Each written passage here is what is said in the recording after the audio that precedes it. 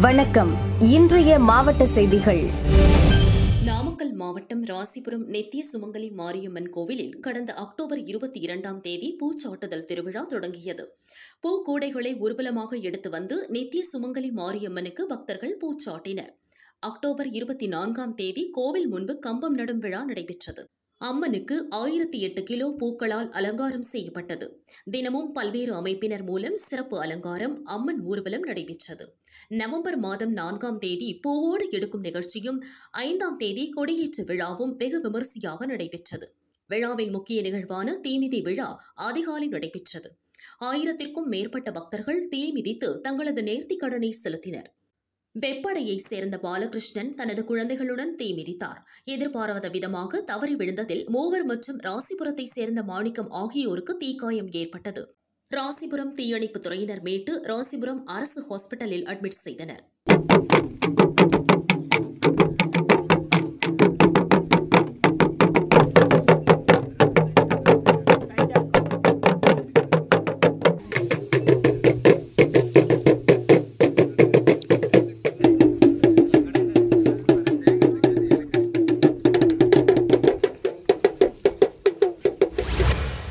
ரஜினியின் சகோதரர் சத்யநாராயண ராவ் மதுரை மீனாட்சி அம்மன் கோவிலில் சுவாமி தரிசனம் செய்தார். ரஜினிகாந்த்னா ஒரு மிகப்பெரிய மாசு இருந்தது தமிழ்நாட்டுல. அவர் வராத இடத்த இவர் நிரப்புவாரா? மக்கள் ரஜினிகாந்த் ஆதரிச்ச அளவு விஜய் ஆதரிப்பாங்களா? இல்லைங்க. ஆதரவு மாட்டோம் யார் யாரும் ஆதரவு மாட்டாங்க. ஆதரிக்க மாட்டாங்க. இப்ப அவர் சூப்பர். ஸ்டார் வேற சொல்லிட்டு இருக்காரு. என்ன அனுபவம் இருக்குங்க உங்களுக்கு? அனுபவம் இல்லை. என்ன சார்? அனுபவம் அனுபவம் இல்லைங்க. இப்போ சத்தியத்துக்கு வேண்டாம். அவங்க வரக்கூடாது. கஷ்டமாயி போதும். வீண் சமம் சொல்லுங்க. வீண் சமம். வீண் சமம். பின் வாங்கினா நல்லது அவரு. பின்வாங்க தான் நல்லது. இல்லைன்னா சும்மா பெருப்படுது. ஆ, ஸோ எல்லாம் செலவு ஜாஸ்தியாகி போகுது. கஷ்டமாயிடுது. தெரியாதுங்க. எனக்கு தெரியாது மக்கள் தான் தெரியும். ரஜினிகாந்த் ரஜினிகாந்த் திருப்பி முதலமைச்சர் ஆனன்னு தமிழ்நாட்டு மக்கள் ரொம்ப விருப்பமா இருக்காங்க இல்ல, அவங்க- ரசிகர்கள் எல்லாம் நினைக்கிறாங்க. இல்ல, அவங்களுக்கு இஷ்டம் இல்லை. வர மாட்டாரு சார்? வேண்டாங்க. இல்ல அவங்க சார் விஜய்கிட்ட பயம் இல்ல. ரஜினி சார்ட்ட பயம் இருக்கான்னு கேட்கிறாங்க ஒன்றும் பயமே கிடையாது. அவருக்கு என்ன பயம்? பயமே கிடையாது. அவருக்கு இஷ்டம் இல்லை. அவ்வளோ அரசியல் இஷ்டம் இல்லை அவ்வளோ. தஞ்சை வந்த துணை முதல்வர் உதயநிதி கலைஞர் அறிவாலயத்தில் முரசொலி செல்வம் படத்தை திறந்து வைத்தார்.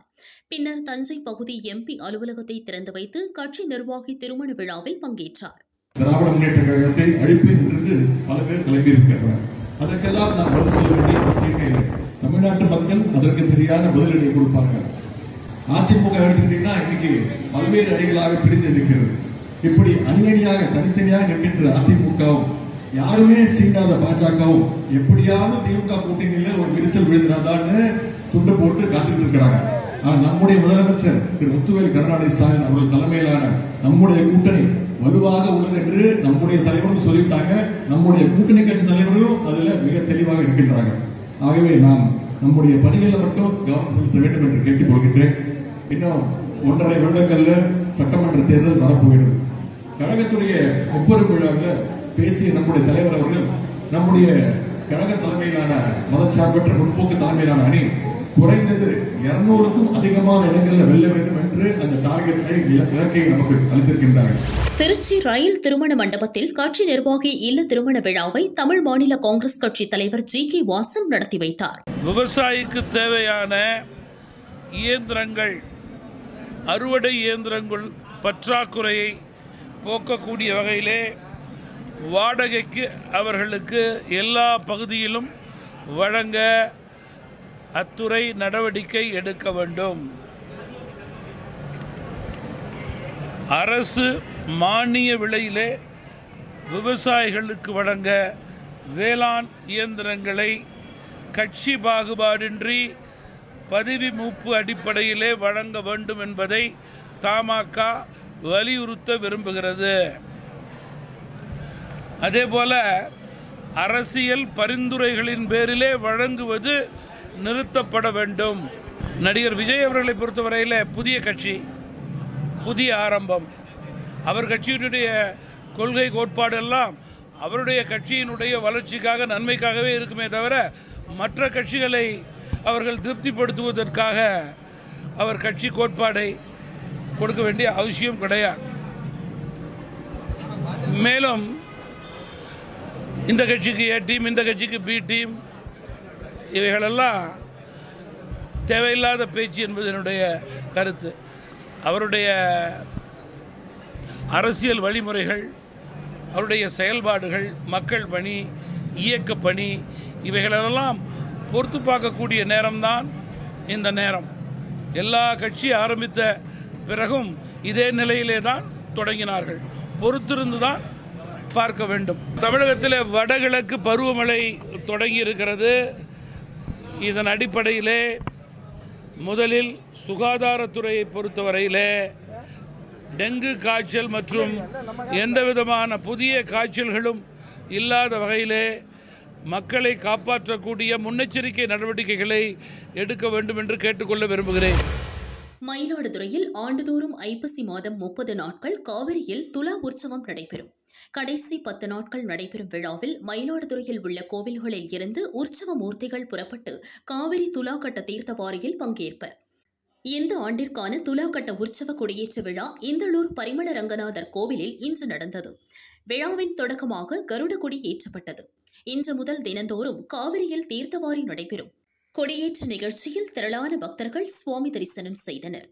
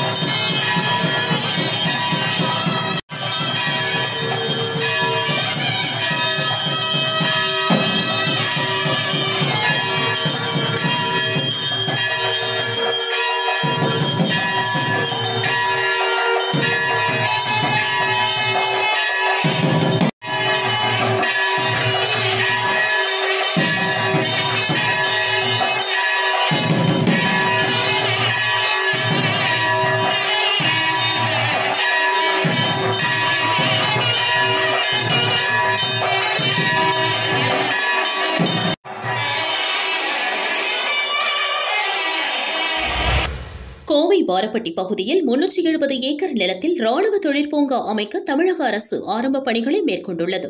சாலை பணிகள் தொடங்கிய நிலையில் மதில் சுவர் எழுப்பப்பட்டு வருகிறது. இன்று விவசாயிகள் திடீர் போராட்டம் நடத்தினர். மதில் சுவர் பொதுப்பாதையில் எழுப்பப்படுவதாகவும் சுற்றியுள்ள விவசாய நிலங்களுக்கு செல்லும் பாதையை அடைப்பதாகவும் குற்றம் சாட்டினர்.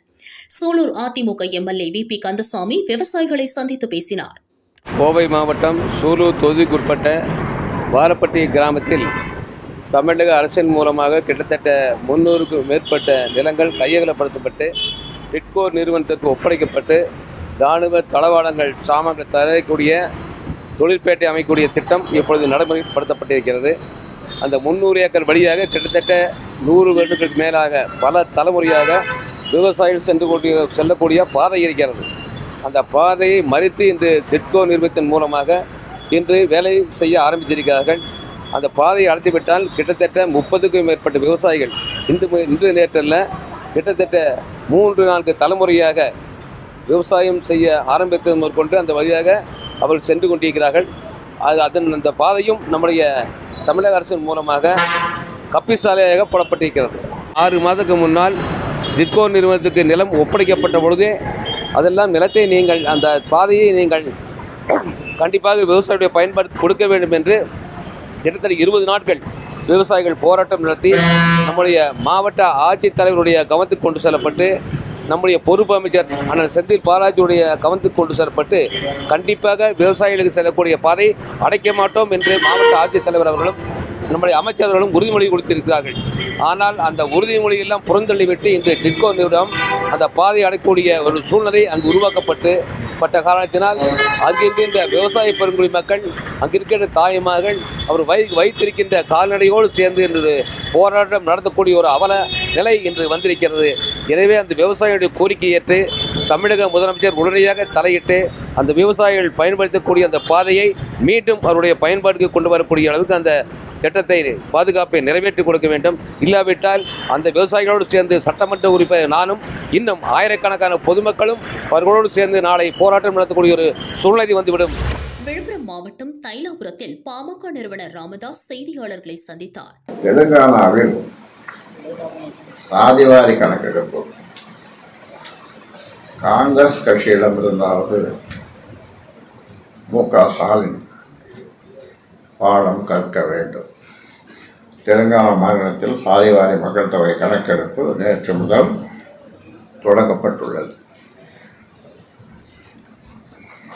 தெலுங்கானா அரசன் இந்த நடவடிக்கை வரவேற்கத்தக்கது.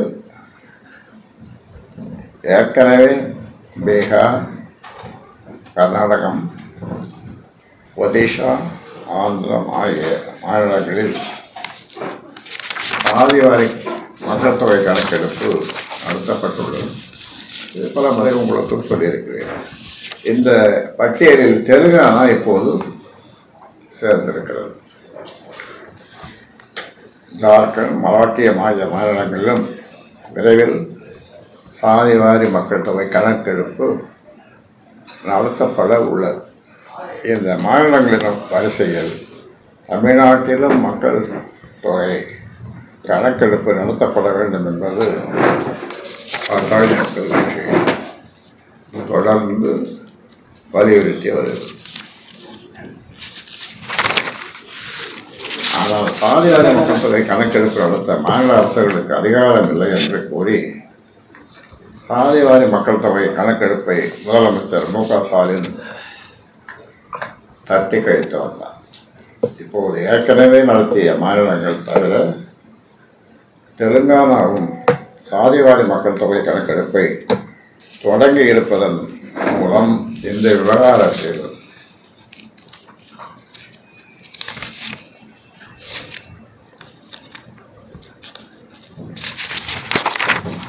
தமிழ்நாடு அரசு நடத்தி வரும் நாடகம் அம்பலமாகிவிட்டது. திமுகவின் சமூக நீதி முகமூடி கிழிந்து விட்டது மீண்டும் சொல்கிறேன். தமிழ்நாட்டில் சாதிவாரி மக்கள் தொகை நடத்த எந்த தடையும் இல்லை. சாதிவாரி மக்கள் தொகை கணக்கெடுப்பு செல்லாது என்று எந்த உயர்நீதிமன்றமும் கூறவில்லை. எந்த உயர்நீதிமன்றமும் தடை விதிக்கவில்லை. திமுக தான் அப்படி ஒரு தவறான தகவலை தொடர்ந்து பரப்பி வருகிறது. மதுரை புது ராமநாதபுரம் சாலை பகுதியில் கட்டப்பட்ட இந்திய கம்யூனிஸ்ட் கட்சி அலுவலகத்தை கட்சியின் மாநில செயலாளர் பாலகிருஷ்ணன் திறந்து வைத்தார். இந்நிகழ்ச்சியில் மதுரை எம்பி வெங்கடேசன் உள்ளிட்ட கட்சி நிர்வாகிகள் கலந்து கொண்டனர். பின்னர் பாலகிருஷ்ணன் செய்தியாளர்களை சந்தித்தார். புதிதாக ஒரு கட்சியை ஆரம்பிக்கிறதுங்கிறது நிறைய பேர் கட்சி ஆரம்பிச்சிருக்காங்க. விஜய் மட்டும்தான் கட்சி ஆரம்பிச்சாருன்னு சொல்ல முடியாது. ஒரு நாலு வருஷத்துக்கு அஞ்சு வருஷத்துக்கு முன்னாடி ஒவ்வொரு நிறைய பேர் புதுசு புதுசாக கட்சி ஆரம்பிச்சிருக்காங்க. இதை விட பிரம்மாண்டமான பெரிய விழாக்கள்லாம் அந்த விழாக்களை ஒட்டி நடந்திருக்கிறத நம்ம வரலாற்றில் பார்த்துருக்கோம். விஜயகாந்த் ஆரம்பிக்கிற போது இதை விட பல மடங்கு கூட்டம் அதிகம். ஆகவே ஒரு கட்சி ஆரம்பித்த உடனேயே அவங்க என்ன சொல்கிறாங்க அதுக்கு என்ன பதில் சொல்கிறாங்கன்னு நாங்கள் சொல்ல வேண்டிய அவசியம் கிடையாது. அது அவங்களுடைய கோரிக்கை அவங்களுடைய கொள்கை அவங்க சொல்லிக்கிட்டு இருக்காங்க அவ்வளோதான் அது நாளைக்கு நடைமுறைக்கு வருகிற போது நாங்கள் அது மேலே எங்களுடைய கருத்துக்களை சொல்லுவோம். ஆனால் நிச்சயமாக விஜயனுடைய வருகையோ அல்லது அவருடைய அறிவிப்புகளோ நிச்சயமாக வந்து திமுக கூட்டணிக்குள்ளே எந்த விதமான சலசலப்பும் ஏற்படுத்தலை. அது சம்பந்தமாக ஏற்பட்ட பலவிதமான சந்தேகங்களை சம்பந்தப்பட்டவர்கள் தெளிவுபடுத்தியிருக்காங்க. பல்லடம் கரைப்புதூர் ஊராட்சி ஒப்பிலிப்பாளையத்தில் உள்ள அரசு புறம்போக்கு நிலத்தை சிலர் ஆக்கிரமித்து கட்டிடம் கட்டும் பணியில் ஈடுபட்டனர். பொதுமக்கள் விஏஓ ஆர்ஐ தாசில்தாரிடம் புகார் கூறினர். பொதுமக்களுக்கு அதிகாரிகள் மலுப்பலான பதில் கூறி அனுப்பினர். தனியார் பணிகளை நிறுத்தாமல் வேலை செய்தனர். பொதுமக்கள் பயன்பாட்டிற்கு விடப்பட்ட இடத்தில் தனிநபர் ஆக்கிரமித்துள்ளது குறித்து புகார் தெரிவித்தும் அரசு அதிகாரிகள் நடவடிக்கை எடுக்கவில்லை என வேதனை தெரிவித்தனர். பொதுமக்கள் அங்கு கூடியதால் பணிகள் பாதியில் நிறுத்தப்பட்டுள்ளது. அதிகாரிகள் உரிய நடவடிக்கை எடுக்க வேண்டும் என பொதுமக்கள் வலியுறுத்தினர். சொந்த ப பயன்பாட்டுக்கு எடுத்தாங்க. நாங்கள் தடுத்தோம். பட்டா வாங்கி வச்சு நாங்கள் கட்டுவோம் அப்படின்னு சொல்லி கட்டிட்டு இருந்தாங்க. நாங்கள் இல்லாதப்ப தான் வந்து வந்து இந்த மாதிரி வேலை செஞ்சுட்டாங்க. அது இருந்தாலும் நேற்று வரைக்கும் கூட தடுத்துட்டு தான் இருந்தோம். அதனால தான் மனு கொடுக்க வேண்டியதாச்சுங்க எல்லாத்துக்கிட்டையும் மனு கொடுத்துருக்குறோம். பொதுமக்களுக்கு ஏதாச்சும் உபயோகமாக ஏதாச்சும் கட்டுறதுக்கு ஏற்பாடு பண்ணிங்கன்னா பால்வாடி தண்ணி தொட்டி கட்டலாம் பால்வாடி அந்த மாதிரி ஏதாவது கிராம மணிகார மகிட்ட சொன்னோம் அவங்களும் ஒன்றும் சொல்லலைங்க. வந்து ஒன்றுமே சொல்லலை. பட்டா வாங்கி தரோம் வாங்கி தரோம் அப்படின்னு சொன்னாங்க. ஒன்றும் எங்களுக்கு பண்ணலை. அப்படியே நிறுத்தி வச்சுட்டே இருந்தாங்க. நாங்கள் சொல்லி சொல்லி பார்த்துட்டு விட்டுட்டோம். அதனால தான் அதுக்கு மேலே போக வேண்டியதாகிடுச்சுங்க அவங்ககிட்ட சொல்லிட்டு தான் மேலே போனோம். ஊர் பொதுமக்களுக்கு பயன்பாட்டுக்காகட்டுங்க. சொந்தமாக அவங்க வந்து ஆக்கிரமிக்கிறாங்க. தனிநபர் வந்து ஆரம்பி ஆக்கிரமிக்கிறாங்க. பட்டா வாங்கியாச்சு அப்படின்னு சொல்லி போட்டு சொல்கிறாங்க தாசில்தார்கிட்டயே நாங்கள் கேட்டுட்டோம். அப்படி நாங்கள் போய் தாசில்தார் கேட்டால் நாங்கள் எந்த இதுவும் நாங்கள் சொல்லலாமா அப்படிங்கிறாங்க. ஆர்ஐ சார் அப்படி சொல்றாரு. வணிகாரமா எங்களுக்கு தெரியாது அப்படின்னு சொல்றாங்க. அப்புறம் எப்படி இவங்க வந்து கட்டுவாங்க அங்க வந்து? டிரான்ஸ்ஃபார்மர்க்குள்ளேயே தண்ணி தோணுனாங்க. அப்புறம் அங்க ஆபீஸ்க்கு தருவிச்சு அவங்க வந்து த- மூட சொல்லிட்டாங்க.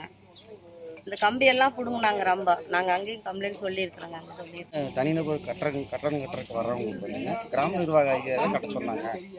அப்படின்னு சொல்லி போட்டு கட்டிட்டு இருக்கிறாங்க. நான் ஒரு வருஷத்துக்கு முன்னாடியே ஒரு வருஷத்துக்கு முன்னாடியே கட்டும்போதே வந்து நான் வந்து கட்டாதீங்க. இந்த தடவை வந்து கவர்மெண்ட் பயன்பாட்டுக்கு ஒதுக்குனது அப்படின்னு நான் சொன்னேன். அப்போவே சொன்னேங்க. சரி அப்போ அப்போதைக்கு எல்லாம் போயிட்டாங்க. அப்புறம் மறுபடியும் பார்த்ததுன்னா இந்த அளவுக்கு கட்டிக்கிறாங்கிறது இப்போ வந்து பார்க்கும்போது தெரியுது. எல்லாருமே போய் கேட்டுருக்குறாங்க எல்லாம் பெட்டிஷன் கொடுத்துருக்குறாங்க இன்னும் எந்த விதமான இதுவும் வரலைங்களாமா அவங்களுக்கு உண்டான பட்டாவுக்கோ இல்லை கட்டிக்குங்க அப்படிங்கிற அதிகாரமே யாருமே கொடுக்கல அப்படின்னு போட்டு அவங்க தரப்பு சொல்கிறாங்க ஆனால் இங்கே வந்து மிரட்டிட்டுங்கிறாங்க நாங்கள்லாம் நாங்கெல்லாம் ஆர்டர் வாங்கிட்டோம். எங்களுக்கு கட்ட சொல்லிட்டாங்க. நீங்க வேணா அங்க போய் கேட்டுக்கோங்க. எதா இருந்தாலும் நீங்கள் அங்கே போய் தான் பேசணும். எங்ககிட்ட பேசக்கூடாது அப்படின்ட்டாங்க. நேற்று குறுக்காட்டும் போது கூட அந்த இது அதிகாரமாக பேசுங்காட்டி தான் ஆர்ஐ போய் கேளுங்க அப்படிங்கிறாங்க. எதா இருந்தாலும் தாசில்தார்கிட்ட போய் பேசுங்க. இங்கே எங்களையெல்லாம் குறுக்காட்டால வச்சுக்காதீங்க. டிரான்ஸ்பார்ம் இருக்குதுங்க அது கீழேயே தொட்டி தோண்டி இது பண்ணிட்டாங்க. இந்த டிரான்ஸ்பார் சாயாம இழுத்து கட்டிக்கிறாங்க பார்த்தீங்களா கம்பிங்க. அந்த கம்பியுமே புடுங்கி நட்டுறக்கு புடுங்கினாங்க. புடுங்கும் போது தான் சரி இது புடுங்கினாங்களா வம்பாயின்னு போட்டேன். இவி ஆஃபீஸுக்கு தகவல் சொல்லி அவங்க வந்து போட்டு யார் குழி தோண்டுறது அதெல்லாம் கட்டாதீங்கன்னு போட்டு அவங்களும் சொல்லிட்டு தான் போயிருக்காங்க இப்போ அவங்ககிட்ட கேட்டாலும் அவங்களுக்கு தெரியும் நீங்க என்ன காரணத்தினால நீங்க தடுத்து நிறுத்துறீங்க? என்ன நாங்க நிறுத்தணும் இதுல இருக்கிற இடத்துக்கு வந்துங்க இந்த பால்வாடி கிலோமீட்டர் போகணும் பால்வாடி எல்லாம் இங்க இல்லைங்க. வேற பக்கம் தான் இங்க பயன்பாட்டுக்கு.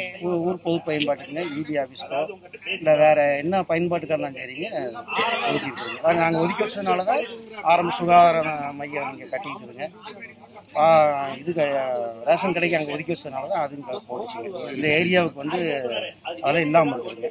அதனால அது அது அந்த பயன்பாட்டுக்கு தான் நாங்கள் இத்தனை எதிர்